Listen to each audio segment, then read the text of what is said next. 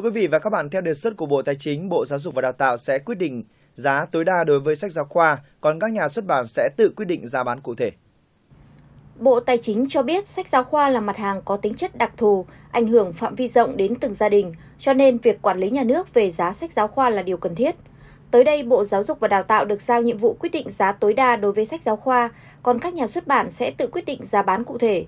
Để chia sẻ với người tiêu dùng, Bộ Tài chính đã họp với Bộ Giáo dục và Đào tạo, đề nghị các nhà xuất bản ra soát, tiết kiệm các chi phí như chi phí quản lý, quảng bá sách, lợi nhuận để giảm giá sách giáo khoa. Trên tinh thần đó, đa phần các nhà xuất bản đã kê khai giảm giá sách giáo khoa từ 5 đến 15% tùy loại sách so với mức dự kiến ban đầu. Theo báo cáo tình hình sản xuất công nghiệp và hoạt động thương mại 8 tháng năm 2022 của Bộ Công Thương, kim ngạch xuất khẩu nhóm nông lâm thủy sản đạt 20,66 tỷ đô la, tăng 15,4% so với cùng kỳ năm trước, chiếm 8,2% tổng kim ngạch xuất khẩu. Trong đó, xuất khẩu thủy sản ghi nhận mức tăng trưởng ấn tượng, ước tính đạt 7,5 tỷ đô la, tăng 35,5% so với cùng kỳ năm trước do các thị trường xuất khẩu hiện đều có nhu cầu cao đối với thủy sản Việt Nam. Xuất khẩu cà phê và gạo đều tăng về lượng và trị giá so với cùng kỳ năm trước. Nhóm nhiên liệu khoáng sản trong 8 tháng năm 2022 cũng tăng lên tới 55% so với cùng kỳ năm trước. Trong đó, xuất khẩu xăng dầu, than đá và quặng, khoáng sản khác tăng cao do giá các mặt hàng này tăng.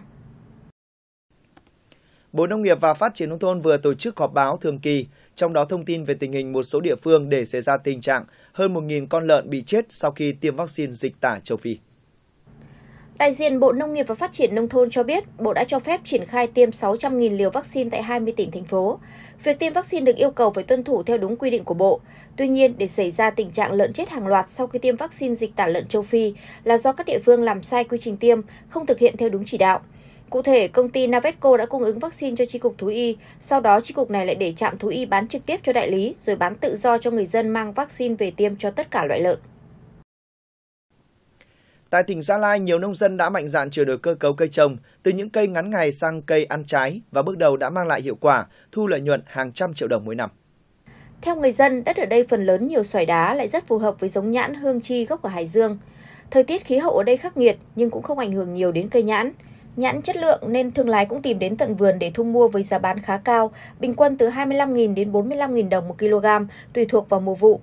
Dày công tìm tòi, nghiên cứu, nhiều hộ dân đã làm chủ được công nghệ làm cho vườn nhãn ra hoa, đậu quả quanh năm, tháng nào cũng có nhãn bán ra thị trường. Nhờ đó nguồn thu ổn định và rất cao, với bình quân khoảng 1,2 tỷ đồng mỗi năm. Hiện đã có nhiều nông dân chuyển đổi những cây trồng kém hiệu quả sang trồng nhãn hương chi để thoát nghèo.